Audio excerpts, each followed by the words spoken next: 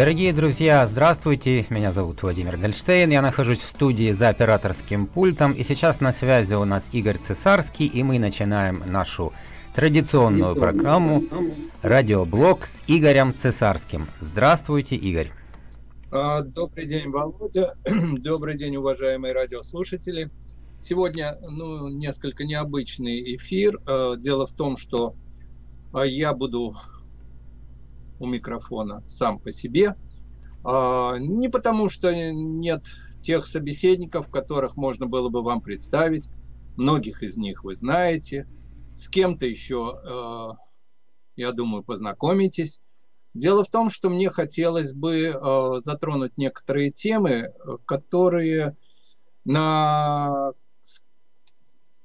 рассмотрение которых мне бы э, интересно было знать и ваше мнение – то есть э, этот эфир будет включен э, сразу в прямую сеть, скажем так. Мы готовы принимать ваши звонки не со второй части программы, как это случается обычно, а с самого начала.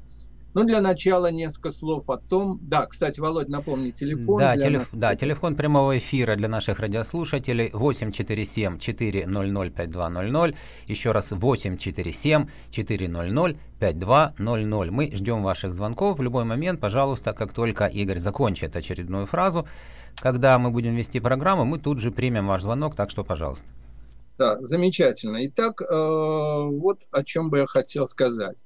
Ну, э, вот в наступающем сентябре будет уже 24 года с момента того, как я э, открыл свою первую газету. Она была бумажная газета, называлась «Русский акцент», а затем последовали и другие газеты. И в настоящий момент э, медиагруппа «Континент», издателем и главным редактором, который я являюсь, издает по-прежнему несколько печатных изданий, то бишь на бумаге и э, несколько сайтов э, в ежедневном режиме работают в сети. Также у нас десятки э, групп в социальных сетях, также у нас рассылки, которые, я думаю, кто-то из наших слушателей получает э, у себя, так сказать, дома. И каждый второй день, то есть понедельник, среда, пятница у нас делаются рассылки – где лучшие материалы, ну, на наш, естественно, взгляд, наиболее интересные э, представляются вам для того, чтобы вы заглянули на сайт лишний раз, почитали. Ну, естественно, те, кто, опять же, сегодня слушает, знают про радиоблог, который я веду, встречаясь э, с какими-то своими собеседниками, надеюсь, интересными.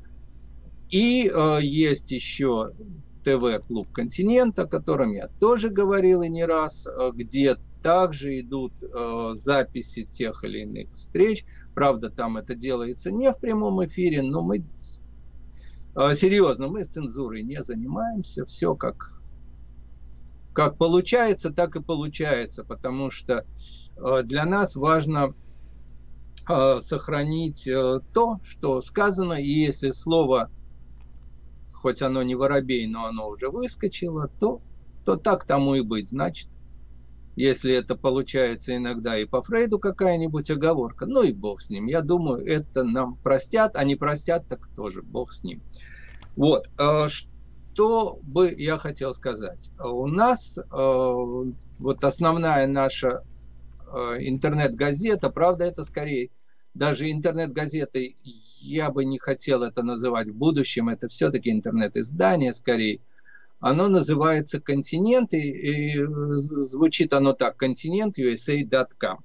Так вот, э, на континент USA.com выходят наиболее значительные какие-то наши публикации именно публицистического свойства, там много аналитики, много материалов, э, которые э, дают какой-то фактаж по Америке прежде всего, по Израилю, по другим странам. И вот э, на этом сайте э, грядут перемены. Перемены э, дело такое непростое, но тем не менее мы надеемся, что это перемены, которые исключительно от хорошего еще к более хорошему, то бишь мы надеемся на лучшее. Лучшее в смысле чего? А, мы хотели бы запустить в первую очередь, и это будет вот буквально днями сделано, рубрику, которая называться будет «Америка 2020». Итак, Америка 2020. Ну, я думаю, проницательные радиослушатели понимают, о чем я. Мы ждем следующего года, мы ждем президентских выборов, от которых, наверное, будет очень многое зависеть э, в будущем страны, где мы живем, э, с которой связаны все наши, в общем-то, надежды – надежды на лучшее будущее собственное, наших детей, внуков, правнуков. Поэтому мы хотим, чтобы страна двигалась вперед, мы хотим, чтобы как можно все было гармоничнее, как можно э, лучше была ситуация в экономике, чтобы меньше было всевозможных конфликтов и так далее – но это в идеале, а не в идеале вы прекрасно знаете, что идет э, очень серьезная борьба. Она уже началась. Мы наблюдаем за тем, как э, члены э, демократической партии уже в своих каких-то первых начальных праймерис, они, в общем-то, заявляют о своих амбициях, о том, что они хотят – бросить ту самую перчатку нынешнему президенту, республиканцу Дональду Трампу. И мы понимаем, что это только начальная стадия. Э, я думаю, что буквально вот как только закончится э, летний сезон, начнется жесточайшая борьба внутри за вот то самое первенство – ну, а потом э, ожидаемо будет очень-очень много всего, уже когда непосредственно сойдутся на финишной прямой нынешний президент и тот, кто вот из нынешних его оппонентов Демпартии, в общем-то, пройдет на ту, то есть пересечет первым ту финишную черту и собственно говоря, сойдется в рукопашный, скажем так, с нынешним президентом. Вот. Ну, не секрет, что на этой волне, на которой, в общем-то, делается передача, что я веду, и я, и многие ведущие, которые здесь работают или сотрудничают с этим радио, отдают э, свои симпатии нынешнему президенту Трампу. Ну, по ряду причин. Во-первых, скорее всего, потому что этот президент э, имеет ту повестку дня, и насколько это возможно, он эту повестку дня притворяет в жизнь. Соответственно, эта самая повестка дня в большей степени устраивает тех еще раз скажу, ведущих, и меня в том числе, э, этой волны. Но это не значит, что то же самое происходит и в других средствах массовой информации. Мы прекрасно осведомлены, что, наверное, процентов 90 всех э, СМИ в Америке, они э, с уклоном влево, с большим, с малым, но Э, они чаще всего становятся идеологическим рупором дем, демпартии. То есть, может быть, еще, скажем так, некоторое время назад ситуация была иной. Можно было говорить о больших серьезных газетах, которые ну, проводили серьезные расследования, которые старались а, быть все-таки над схваткой политиков, которые могли а, быть объективны как к одной стороне, так и к другой, доискиваться до правды, то есть вести себя как журналисты, а не как агитаторы. Сейчас, к сожалению, даже такие глобальные издания, как и уважаемые некогда, так как Нью-Йорк Таймс, как Вашингтон Пост, они э, в целом утратили э, вот то свое, в общем-то, наработанное многими годами. И там были славные имена, действительно, в журналистике. Все это ушло, развеялось как пыль. Там осталось что? Осталась сплошная агитация, осталась сплошная пропаганда, осталась ругань, которая с 24 часа идет по телеканалам, которые относятся к левым каналам, таким как MSNBC, CNN и другие. А газетные публикации, естественно, уделяют особое внимание всем негативным, по их убеждению, моментам в президентстве Трампа, и, и там не осталось людей, которые зададут какой-то вопрос относительно того, лучше стала ли Америка за те несколько лет, что 45-й президент на своем посту, хуже ли она стала. Для них этот, этого вопроса нет, для них э, Трамп это однозначное зло, с которым надо покончить как можно скорее. Ну вот импичмент не получается, значит есть те самые 2020, вот эта цифра 2020, и там, несомненно, будут брошены все, все виды войск. Игорь, а можно, можно я сказать. включусь, да, вот если да, вы конечно. позволите в разговор, у меня есть один вопрос. Пожалуйста. Он заключается вот в чем. Э, вот вы говорите, да, что средства массовой информации в сегодняшней Америке в массе своей на стороне как я понял, демократической партии левые взгляды. А с чем это связано? Э, ведь э, у республиканцев, ну, наверняка не меньше финансовый ресурс, чем у демократов. Они что, не уделяют должного внимания по каким-то причинам, инвестициям в свой пиар? В чем дело, почему так? Я часто задавал себе этот вопрос, почему так случилось. Ну вот э, то же самое можно, можно, опять же, вопросом на вопрос, а почему в образовании такое произошло? Вот так уж получается, что э, люди консервативных взглядов, они ну, в большей степени обладают самодостаточностью. И э, у них меньше остается времени, желания и так далее на то, чтобы тратить свое ценное время и вкладывать его в, в то, что, э, значит, ну, назовем это так, опять же, в пропаганду своих идей и в то, чтобы э, как можно больше людей приняли. Но вот разве, разве у республиканцев нет профессиональных политтехнологов, которые понимают важность поддержания серьезного а, системного они, пиара? Они, они наивные есть, люди? Они есть, но дело в том, что весь мир, это, это явление происходит не только в Америке. А, тут надо глубже смотреть. А, у нас звонки это, есть, давайте. После военного периода рассматривать, почему вот этот произошел крен. Да, Понимаешь? у нас есть звонки, можем принять. Звонки, пожалуйста. Слушаем вас в эфире. Я уже пробовал задавать этот вопрос. Меня зовут Борис. Я не могу да. понять, почему за два года Трамп не создал какие-то свои средства массовой информации, какой-то телеканал. Я не могу понять, ну что это не, не, невозможно. В чем причина? Не могу понять. Помогите. Да. Спасибо, Борис. Борис. У нас еще да, есть звонок, спасибо, давайте мы ответим и примем следующий потом. Да, хорошо.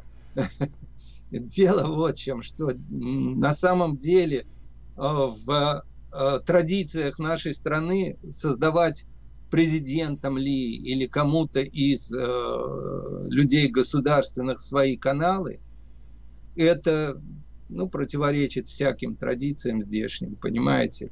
Это дело частных лиц, частных корпораций и так далее. Другое дело, что, конечно, очень во многом эти средства массовой информации, несомненно, имеют определенную зависимость от тех э, владельцев, которые стоят за ними. То есть, но это не значит, что им диктуется всякий раз, что, что, что говорить, что печатать и так далее. Мы, мы все-таки живем в Америке, а не в тех странах, где где такой диктат есть. У нас звонки еще, да? Да, есть. Мы вас слушаем. Здравствуйте. Алло, здравствуйте. Здравствуйте. Вы посмотрите по Cable TV фильм The Loudest Voice.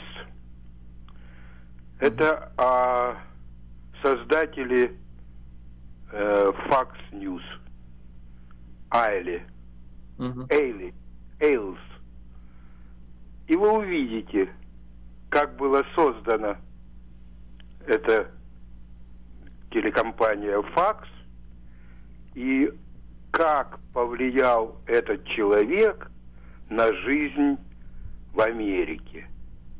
И он практически создал э, Трампа. Вот посмотрите этот фильм. Спасибо. Спасибо. Спасибо. Ну, кстати говоря, я, я вспоминаю интереснейший фильм о том, как о знаменитом Уотергейском деле и о том самом легендарном редакторе, который в то время был Вашингтон-Пост. И очень такой, э, этот фильм на документальной основе сделанный. Там очень многие вещи становятся понятными, как, как что происходило, тем более человек, этот э, главный редактор, сейчас не буду, не буду вспоминать его имя, может кто-то из слушателей напомнит. Он был большим другом Джона Кеннеди и так далее и тому подобное. И, в общем-то, тоже большой любитель э, женщин и разоблачений. Ну, а разоблачений, понятно, что под этот расклад попал очень неплохой президент по фамилии Никсон. У нас вот. еще звонки Но... есть, Игорь. А? Еще и звонки. Еще, пожалуйста. Да, да. давайте принимать. Мы вас слушаем. Добрый день.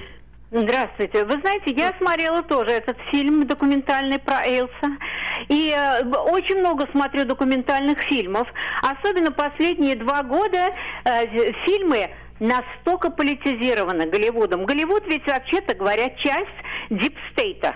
Поэтому у нас идет постоянная пропаганда. Не только СМИ, но и Голливуд часть вот этого действия. Поэтому то, что мы слушаем, то, что мы смотрим, надо рассматривать через призму, кто это ставит и что делается в нашей стране. А без этого совершенно неправильное представление может быть. Они врут, там это чисто геббельсовская пропаганда, 60 на 40, и вот это они употребляют и в этих фильмах. Поэтому то, что они ставят вот это, э, у них эдженда, значит, э, МИТУ, эдженда российская карта, эдженда, что консерватив, белый супремасизм и так далее. Все это там применяется. Все вот эти вот э, э, составляющие. Поэтому, э, соответственно, что мы, что мы можем ожидать от Голливуда? Спасибо. Да, спасибо Давайте мы еще примем звонок, да, а потом уже человек да, ну, э, что ты говоришь? Давайте еще примем звонок, у ну, нас давайте сразу же примем, ответим, потому да. что у меня есть а. что-то сказать еще. Да. Слушаем Слушай. вас. Алло. Слушаю. Да, э, да здравствуйте. Здравствуйте. Э, я хотела вот что сказать. Э, значит, вот тут слушатель упомянул, почему Трамп не создает там своих средств массовой информации и так далее. Да. Это, конечно, не Трамп создал, но я просто не для рекламы, а просто действительно потрясена была, когда получила. Есть такая газета The Epoch Times. Да. Значит, э, это совершенно потрясающая газета. Одни, даже если ты, если одни заголовки даже прочесть, это уже просто удивительно. Степень объективности, широта, размах, глубина, э, безумный, безумно правдивая, интересная, консервативная газета. Если вы посмотрите на Google, то вас может испугать, например, что там э, китайцы значит, тоже участвуют в этом. Но это китайцы, во-первых, это антикоммунисты, это люди, э, которые э, обличают, так сказать, режим коммунистический в Китае и вообще коммунистический. Поэтому там есть, конечно, немножко э, про китайского, но именно не про китайского, а вот ну таких совершенно правдивых вещей о Китае. Вот, но это абсолютно не, не, не, не про китайское. Просто они участвовали в создании когда-то этой газеты. Это не такая давняя газета, я не знаю, может, 2-3 года. Хорошо, я понял. Спасибо вам. Да, э, мин, минуточку, я еще хотела сказать. Э, если, э, если выписать за один доллар пробную на один месяц подписку, то с этим вместе первый раз приходят совершенно потрясающие два полотна, которые называются Spygate. Это на меловой бумаге метровые э, по, э, простыни, на которых весь Spygate, а на обратной стороне схематично все это нарисовано. Это, это одно стоит вот выписать даже на месяц. Все, спасибо. Очень спасибо, спасибо. Если кто-то захочет, и, кстати говоря, да, действительно, если у кого-то есть идеи какие консервативные издания стоит э, читать, рассматривать для того, чтобы, ну, по крайней мере, с этой точки зрения еще в большей степени быть знакомыми, то, да, э, готов выслушать. У нас Но ну, все вот линии мы... горят, не теряйте надежды, дорогие да, слушатели. Да, да. да Сейчас можно... я буквально несколько слов скажу. Дело в том, что э, консерваторы тоже консерваторам рознь. Я во второй части вам приведу несколько э, цитат. Ну, цитат, извините, из себя, потому что на Фейсбуке иногда что-то приходится писать, когда сильно э, задевает нечто. Но я вот что хотел сказать, что э, вот в, той, в том издании, которое, возможно, вам знакомо, а если нет, то всех прошу заходить на континент.usa.com, у нас очень много интересных и хороших авторов – я буду очень благодарен и признателен, если вы будете более активны, так же, как вы активны, когда мы ведем передачи. То есть предлагайте, пишите нам, предлагайте, с кем вы хотели бы встретиться, кого из авторов, вы знаете наших авторов, часть из них у нас в эфире, вот тут выходит э, в передачах это и Игорь Гиндлер, Михаил Герштейн, Елена Пригова, я могу долго перечислять, Борис Гулько и так далее, и так далее. Если у вас есть какие-то идеи, помните о том, что Америка 2020, и это очень близко. И мы будем очень рады, если в этом процессе будете участвовать вы, наши читатели и слушатели. А сейчас я готов еще на один вопрос ответить, потом мы уйдем на рекламу. Ну, как, раз, как раз наши радиослушатели решили тоже, очевидно, послушать рекламу. А, Сейчас звонков нет, да, и у нас уже осталось... Давай тогда послушаем и вернемся к этому вопросу. Тогда да, у нас сейчас небольшая рекламная информационная пауза. Пожалуйста, оставайтесь с нами и сра- сразу же после маленького перерыва мы обязательно продолжим.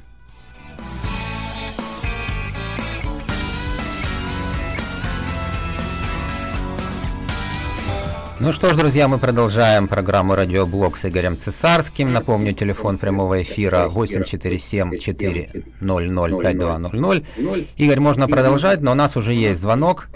Принимаем ну, или хорошо, вы ответите? Примем, как я обещал, а потом я одну вещь хочу прочесть. Э, ну, будет время. Да, слушаем вас. Мы вас слушаем, вы в эфире. Здравствуйте. Здравствуйте. Приглушите, пожалуйста, радио ваше. По поводу ресурсов Приглушите радио, пожалуйста, мы вас очень плохо слышим, уважаемый радиослушатель. А сейчас слышно вас? Радио у себя выключите и будет все хорошо. А у меня радио нет никакого сейчас. Ну, попробуйте поговорить еще раз. И я хочу сказать, что есть э, хороший ресурс такой, американский мыслитель, онлайн-ресурс, American э, Thinker. Да. Там да, довольно интересные статьи очень бывают. Да? Во-первых, да, да, да, как а, раз а вот, Игорь, вы сказали, что да. какой-то ресурс у вас usa.com, это вообще, по-моему, совершенно другой ресурс, там нет ничего подобного, что сказать. Спасибо за ваш звонок. Хорошо, вот смотрите, что происходит. Опять же, говоря о том, что с одной стороны мы видим консерваторы, с другой стороны либералы, так называемые либералы, это, скорее всего, не надо это хорошее слово портить, э, потому что сдвинулись понятия, скорее будем говорить о левых людях, э, левой идеологии с мышлением э, таким иногда социалистическим, коммунистическим, каким угодно, но, но не либеральным, потому что все-таки liberty есть слово хорошее. Так вот, э, прочту вам буквально один небольшой кусочек из того, что я написал у себя в Фейсбуке. Приглашаю на свою страницу. Вы меня легко найдете, Игорь Цесарский, или найдите там «Континент Медиа».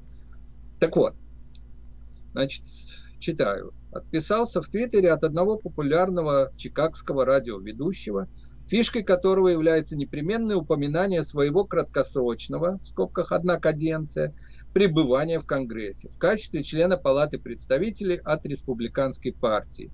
Вообще-то мне импонируют люди, которые не засиживаются на десятки лет в Конгрессе и не только там. Но в данном конкретном случае я могу предположить, почему у этого красноречивого шоумена не нашлось достаточной поддержки для победы на выборах после двух лет отсидки на капиталийском. Флюгером быть, по-видимому, не зазорно, но лучше на крыше. Кстати, зовут его Джо Волш. Джо Волш. 560 ЭМ. Это э, радиостанция. Вот я ему посвятил такое небольшое свое фе, как говорится. Почему? Потому что те, кто слушает эту, эту волну, хорошую волну, где выступают, кроме упомянутого Волша, Деннис Прегер, э, потом э, Томми Хеннети, там очень серьезные Э, консервативные ведущие. Ну вот и он в том числе. Вот, кому будет интересно, я могу подробнее рассказать, почему у меня вот такое появилось отношение к человеку, который я, в принципе, слушал, и на чей твиттер был подписан. И еще одна, совсем маленькая э, реплика. Метаморфоза. Совсем еще недавно радиостанция «Голос Америки» боролась за свободу с империей зла – также известный как СССР, а ныне с президентом Трампом. Вот что получается в данном случае, когда я говорю о, и пишу о Джо Волше, то я э, имею в виду следующее. Человек, который называет себя консерватором, который, э, в общем-то, если опять говорить о повестке дня, консервативный, он придерживается ее, у него много было достаточно ну, таких интересных э, эфиров, которые я слушал. Ну, человек, э, я, я уж не знаю, что его обидело, стал очень жестким оппонентом президента Трампа и вот примкнул к, к тем самым невотрамперам и с удовольствием выходит в эфир CNN, где обличает, изобличает, они его с удовольствием, конечно, выслушивают, потому что когда из противоположного лагеря человек вот с подобным выходит, это, это радует сторону другую. Вот, но это мы берем, э, то есть англоязычную часть, мы берем э, мейнстрим и медиа, которые относятся к, к тем основным медийным ресурсам в нашей стране. А вот «Голос Америки», в частности, про него я написал, э, как э, имея в виду в том числе русскую редакцию, потому что если наши радиослушатели, которые в возрасте и со стажем, прекрасно помнят, чем была эта станция для нас, людей, которые хотели услышать хотя бы словечко правды, ловили ее на своих спидолах и и, и, и других приемников в Советском Союзе. И слушали, слушали. И что-то, что-то потом обсуждали, анализировали, что-то узнавали. И что теперь произошло? Радиостанция, которая, в общем-то, живет за счет бюджета американского, за счет этих э, налогоплательщиков. То есть э, содержится всеми теми, кто платит налоги в этой стране. И вот эта радиостанция государственная, она вдруг выступает в качестве пропагандиста. Причем пропагандиста какого?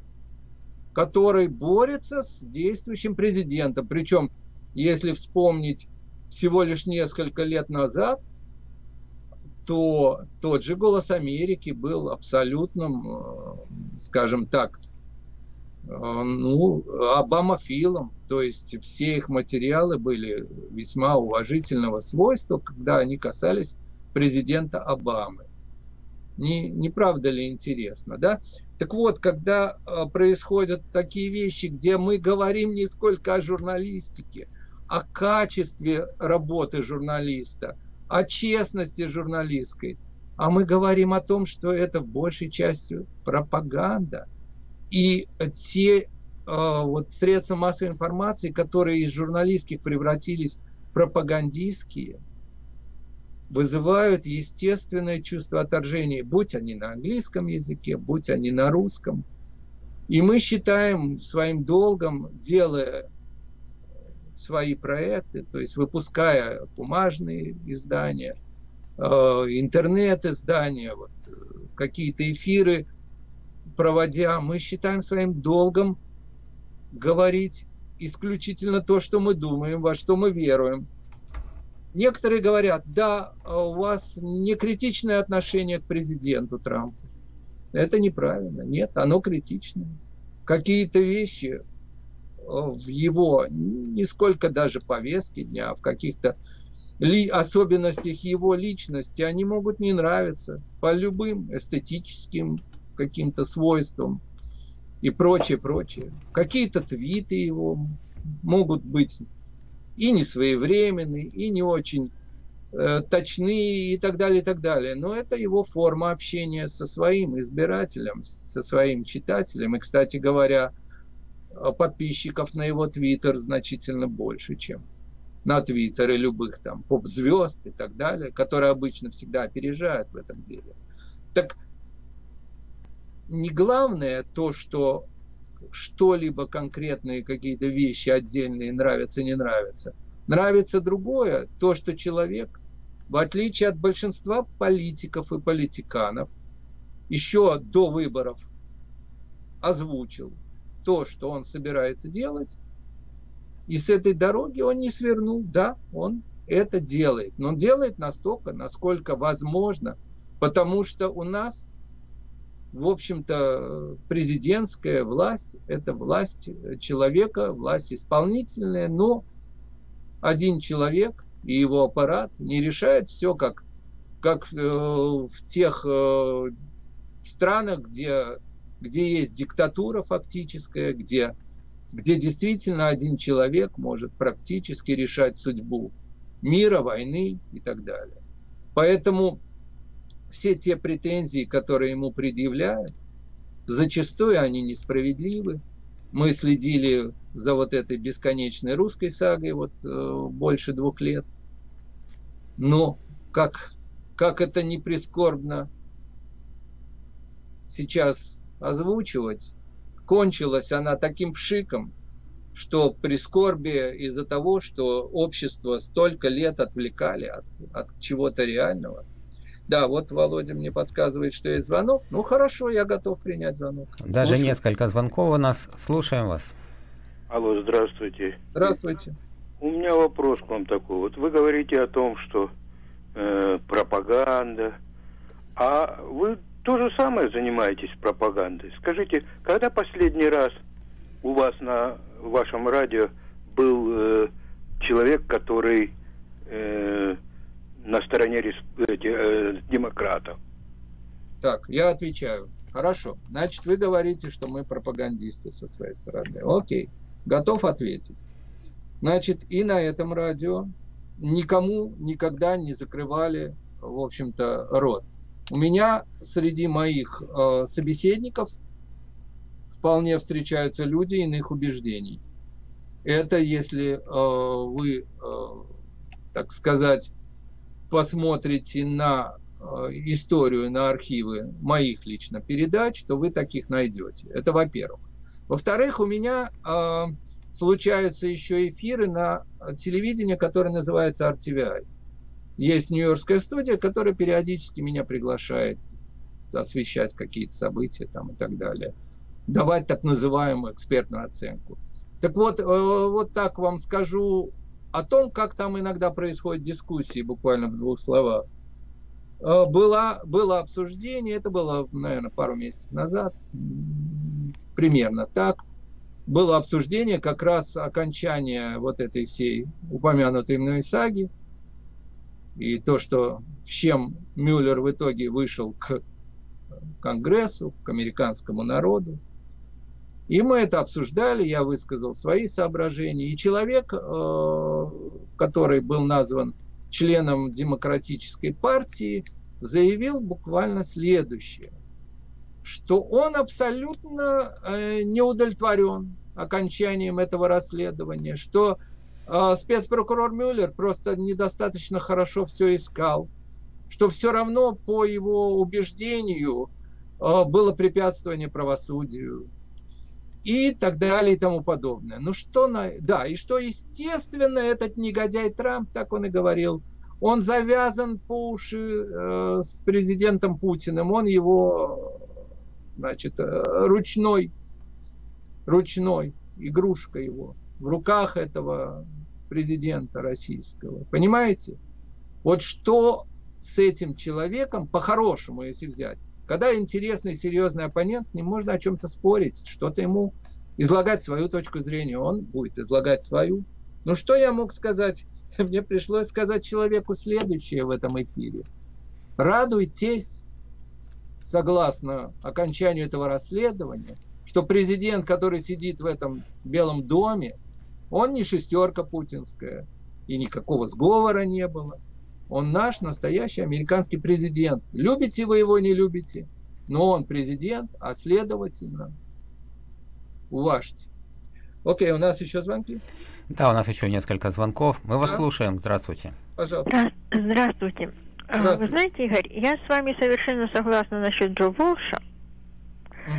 А сначала я его слушала как бы с таким как бы ну удовлетворением, да, а последнее понимаю. время он даже сам заявил, мне очень на меня или мне жалуются или на меня жалуются, что я стал райно, ну нет, нет, я не изменился, я остался такой, как он был. Так это же еще хуже. Получается, вот таким, как он был, есть сейчас, он и был, он просто скрывал это. Так получается. Вот и, значит, такие подозрения не только у меня, как бы, а очень, ну, и у вас, и у очень многих людей. И хуже всего, что вот под личиной вроде бы консерватора он распространяет вот эти вот идеи э, левые. Вот, совершенно верно. И вот вы, вы, вы, наверное, когда его слушали, первое меня кольнуло, когда он рассуждал по поводу стены, да? Вы вот, да, наверное, да, слушали, да. да? Помните, когда он говорил, как он может идти против закона? Ну, не дает Конгресс, не утверждает. Он не может, он не имеет права нарушать закона, обходными путями искать эти деньги и так далее. Это меня поразило. То есть с одной стороны, до этого всегда он ратовал за то, чтобы мы закрыли действительно эту границу, да, и так далее. Ну, как любой консервативный ведущий. И вдруг такое вот заявление. Но когда он еще случился у Трампа ретвит по поводу Джеффри Эпштейна, да, артист написал, Трамп сделал ретвит, mm-hmm. и тут Волш по полной, как говорится, программе выпустил весь яд, сказав, что как президент имеет право бывшего президента вот таким образом подозревать. Но мы же тоже не обвиняем, мы же не говорим, что Билл Клинтон залез в камеру и удушил своими руками Джеффри Эпштейна. Мы об этом не говорим. Но когда идет разговор о том, что смерть-то очень странная, почему консервативный ведущий при этом переводит стрелки на президента Трампа? Как вы ну, думаете? Это, я, я думаю, что он получает деньги. Вот это О! моя мысль такая, что он начина, получил финансирование от демократической партии. Прекрасно, прекрасно. Вот, вот понимаете, какая штука? Поэтому, когда я э, слово флюгер употребил в своем фейсбуковском значит, посте, в своей реплике, именно это я имел в виду, вы замечательно подтвердили мои какие-то собственные мысли. Но почему я был вот таким образом тоже раздосадован, возмущен, потому что этот ведущий, он в какой-то степени имеет большую аудиторию. И да, он на слава аудиторию Богу, будет всячески у людей, влиять. которые его слушают, э, есть голова на плечах. И я поняла, что если не только, э, как он пожаловался, что его называют Райна, значит, это очень многие люди заподозрили в нем вот это качество. Да, но дело в том, что вот таким образом убивается репутация. На самом деле я вам приведу один очень интересный пример. Вот не так давно был у меня в эфире известный российский политик, а теперь вот человек, который переехал в Америку и, и ждет решения своего вопроса, э, Константин Боровой, известный многим нашим слушателям. И вы знаете, э, вот интересная вещь, как, как и любой российский либерал, Константин Натанович очень как-то вот с большим сомнением э, отзывался о приходе Трампа в Белый дом. Но по прошествию некоторого времени его позиция резко поменялась. Но он разобрался? Он, он разобрался. Он был полгода в Калифорнии в то время. Он пожил, он посмотрел, и как умный человек, он начал какие-то факты сопоставлять и так далее. И потом он политик со стажем и разбирающийся. И он увидел, что к чему. То есть зерна от плевел он отделил. И, и вот когда человек в состоянии, да, даже какие-то свои ошибочные суждения исключить из вот своей нынешнего, нынешних взглядов на, на какие-то вещи, это нормально. Не обязательно быть твердолобом, условно говоря, коммунистом или твердолобом каким-нибудь, я не знаю, либералом до, до конца дней своих. Все меняется. Но когда в той ситуации, которую мы говорим вот в данном случае про Волша, явно торчат уши заказа, вот тут большой вопрос. И вот, как наш радиослушатель сказал относительно того, что вот на этой радиостанции совсем не бывает людей иных взглядов. Ну, во-первых, э, такие люди постоянно так или иначе звонят, правда же? Нам ну, один из них только что к вам звонил. Да, ну вот. Никто ему не дает, э, то есть никто его не Никто не закрывает рот и не, не, и не блокирует его звонки, да. Да, более того, я вам скажу еще такую вещь. Уже сколько-то лет назад я приглашал в эфир прекрасного моего друга, художника, очень серьезного, он делает инсталляции там, которые за, за очень-очень большие, как говорится, деньги уходят и так далее.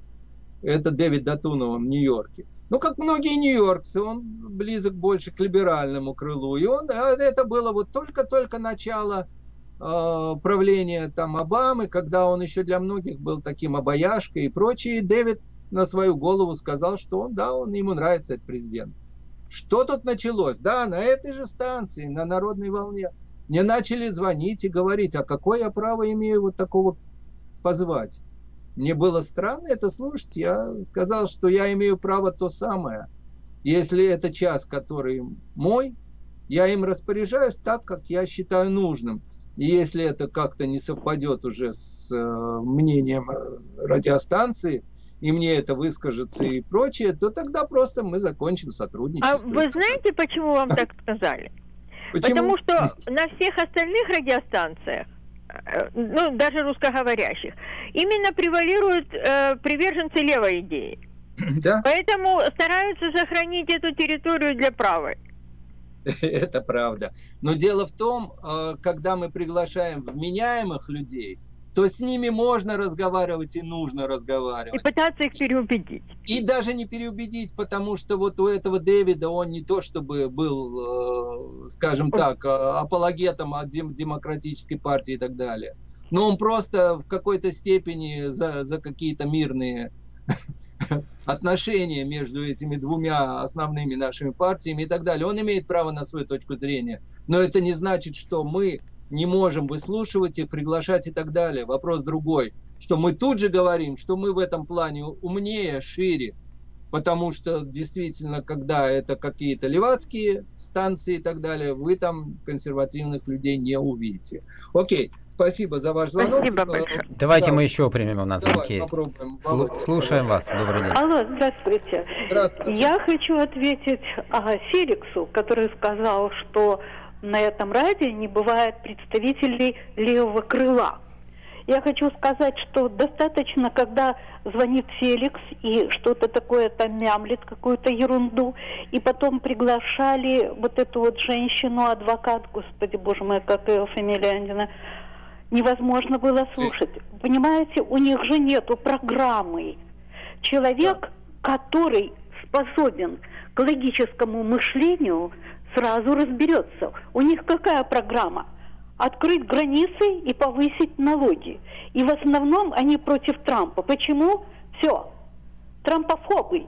Больше ничего нельзя о них сказать. Вот это вот леваки и это демократы сейчас. И потом, как может честный человек состоять в этой партии, когда там находятся четыре ведьмы? Ну вот да. вы мне скажите. И кроме того, что они там находятся, и все их поддерживают, это же просто караул. Это так караул. вот, вы знаете, интересная вещь. Кстати, вы упомянули, про, назвав их ведьмами. Это вы, вы даже, я бы сказал, э, вот ведьмы это не всегда так плохо, как, как плохо с ними. Наверное, можно более такое найти определение. Вот, но дело вот Но чем. это я еще прибегла к остаются... я, я бы их назвала еще похуже. Я понимаю, я, я понимаю. Вы политкорректно это сделали, спасибо вам. Абсолютно. Понимаете, невозможно слушать, потому что когда включаешь CNN или какие-то другие станции, или выступает по нашей «Слава тебе, Господи, народная волна», это же можно просто, понимаете, глоток кислорода. Но когда выступают вот эти леваки, вы знаете, начинает просто тошнить. И человек нервничает. Я, например, не нервничаю, я не могу спокойно к этому относиться. Когда да, человек заведомо понимаю. говорит глупости, и если он не понимает, что, понимаете, или он именно недалекий человек, опять-таки, политкорректно, или он проплачен. Да? Вот третьего так, не дано. Так бывает. Либо, либо вот такие э, глубокие заблуждения, с которыми только психиатры могут сладить. Но, к сожалению... Совершенно так. точно, да. Понимаете, это уже просто, да, да, это болезнь, наверное, какая-то. Но я в это не верю. Я считаю, что это люди больше проплаченные. Спасибо Потому вам за ваш звонок. Столько, да, настолько это да. ярко, понимаете, настолько демократы себя унизили, они просто показали свое, свое звериное лицо. Больше я ничего не могу сказать. Это еще самое вежливое. Ну, посмотрим. Э, кстати говоря, у меня были на сей счет споры, что вот в следующем году некоторые более миролюбиво настроенные мои друзья и коллеги и соратники, я бы сказал, говорят, что в 2020 году это дем, демы очистятся вот от таких, как Ильхан, Амар там и так далее, что там все сделают для того, чтобы дискредитация этой партии прекратилась. Но я так бы не сказал. Я думаю, что там может только все усугубиться, и, и вместо четырех появятся и следующие, и следующие. Почему? Потому что уж очень серьезно влево качнулось наше общество, и потому я хотел еще раз напомнить. Напомнить то, с чего я начал сегодняшний разговор. Я был бы очень вам всем признателен, кто слушает, кто неравнодушен, кто хочет хоть чем-то и как-то участвовать в том самом политическом процессе,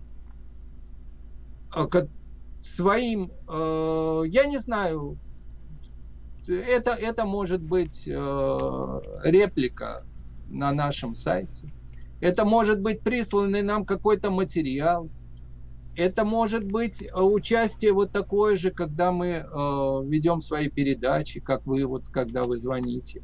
Это может быть, могут быть ваши предложения, кого бы вы хотели услышать потому что возможности у нас существуют. С, с очень многими людьми, мы в состоянии э, связаться лично, без каких-либо посредников, и пригласить их, и вы их не услышите. Подсказывайте темы, потому что 2020, как я говорю, вот эта рубрика, которая появится на нашем сайте continentusa.com, кстати, если вы зайдете, вы увидите вам будет предложено подписаться на наши рассылки, вы можете это сделать, потому что в рассылках мы это как бы небольшое напоминание о том, что вы можете прочесть. То есть любые ваши предложения, любая ваша критика, если она объективная и по-доброму, будут приняты с большим удовольствием. И я как-нибудь опять в прямом эфире, вот так в, в одиночестве без привычных собеседников с вами поговорю. И, может, мы общими усилиями что-то хорошее сделаем. Спасибо всем, кто слушал. И до новых встреч. Спасибо, Игорь. До свидания. До свидания.